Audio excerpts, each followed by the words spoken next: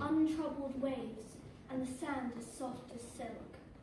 The beach is a quiet place. Uh, I like to go alone.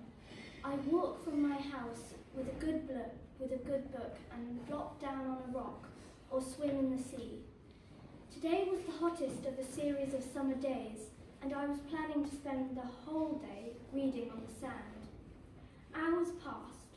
I began to lose interest in my story, one where the character gets shipwrecked on an island, and I started to notice a shape in the water. What could it be? I stood up, thinking I might be able to swim out to the object. Cautiously, I threw myself into the waves and started to kick. After a while, I began to tire. My arms ached complacently and my legs felt on fire, but I couldn't turn back. I was too close. With a rush of joy, I snatched what looked like a bottle from the waves. It was slimy and green, but it seemed to bear a message inside.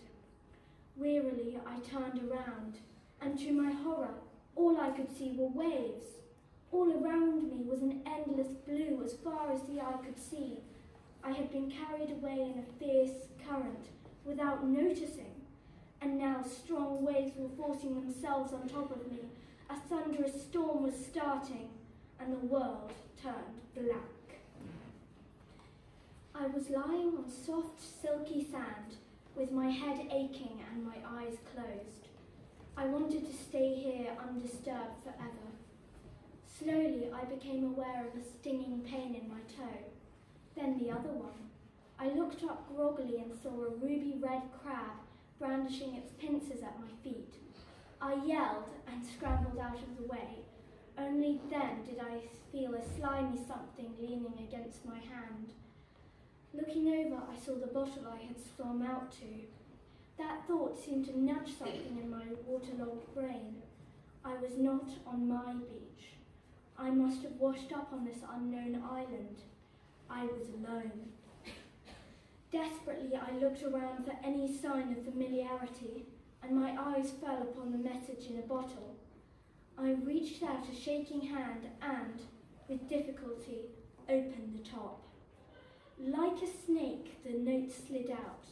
It said, Don't go in the water. You could end up here too. Don't go in the water, I said furiously. It's too late for that. So you've been shipwrecked too, said a slow, deep voice behind me. I spun around. Before me stood a young man. He had large tans on his skin and looked thin and worn.